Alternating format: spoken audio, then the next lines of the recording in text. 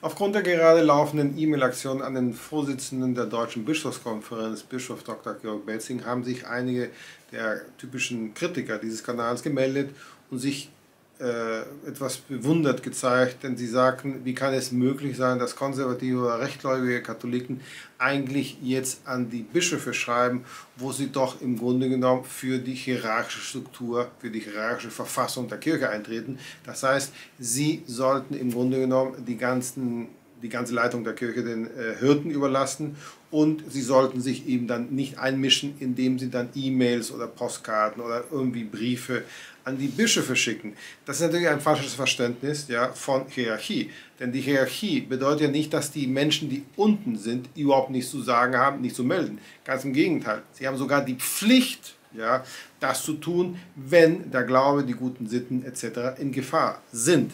Und da sagt auch das Kirchenrecht. Ich werde das hier vorlesen, denn manche von Ihnen könnten vielleicht von solchen Stellungnahmen, von solchen Stimmen der Kritiker verunsichert werden, an dieser E-Mail-Aktion an Bischof Dr. Georg Betzing teilzunehmen.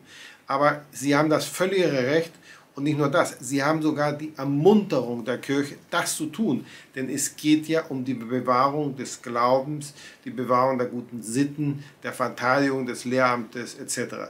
Da müssen die äh, Laien auch etwas dafür tun. Das gehört ja eigentlich zum allgemeinen Apostolat der Kirche. Also wie gesagt, ich werde hier, aus dem äh, äh, Kirchenrecht vorlesen. Ja, das ist äh, Kanon 200 12. In der Ausgabe von Butzen und Berger ist das auf der Seite 87. Das, sind, das ist Kanon 212, Paragraph 2. Und zwar, den Gläubigen ist es unbenommen, ihre Anliegen, insbesondere die geistlichen und ihre Wünsche den Hirten der Kirche zu eröffnen. Also das ist überhaupt kein Problem. Man kann problemlos den, an den Hirten der Hirten schreiben, sie anrufen, Faxe schicken, was auch immer. Das ist völlig äh, selbstverständlich. Sagen wir so, jeder normale Katholik weiß, dass das so ist. Aber dadurch, dass die Kritiker, ja, die, die, die, die, die, diejenigen, die ja die Kirche ja gerade demokratisieren wollen, die ärgern sich, wenn die Konservativen das, das sich dann plötzlich an die, an, die, an die Bischöfe melden ja, und sagen, ja, ihr dürft das nicht tun. Das ist natürlich völliger Quatsch, ja, aber es ist trotzdem klar, dass man, sich, äh, dass man weiß, dass man das durchaus tun kann und soll und sogar manchmal die Pflicht hat.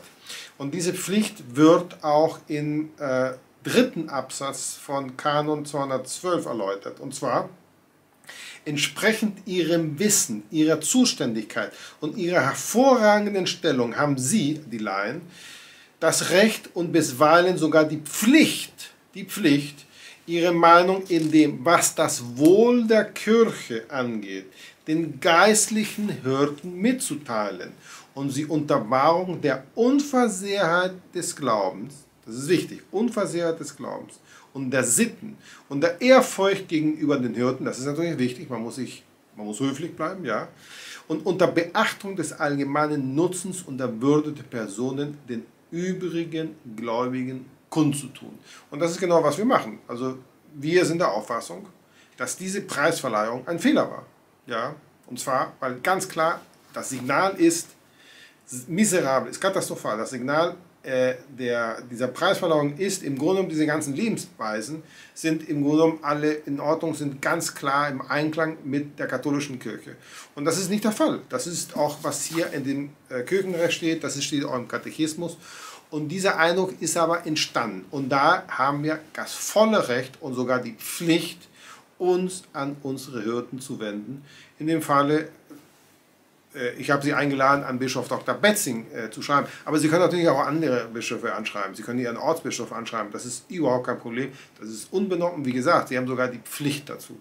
Ja, gerade in dieser Zeit, in der wir leben, ist es wichtig, dass gerade die rechtgläubigen Katholiken, die Konservativen etc., diejenigen, die nicht Agitation betreiben gegen das Lehramt und den Glauben, es gibt ja leider wirklich sehr viele, oder es ist nicht so viel, aber sie haben zumindest sehr viel Lautstärke, ist es wichtig, dass wir unsere Stimme für die Kirche erheben. Vielen Dank.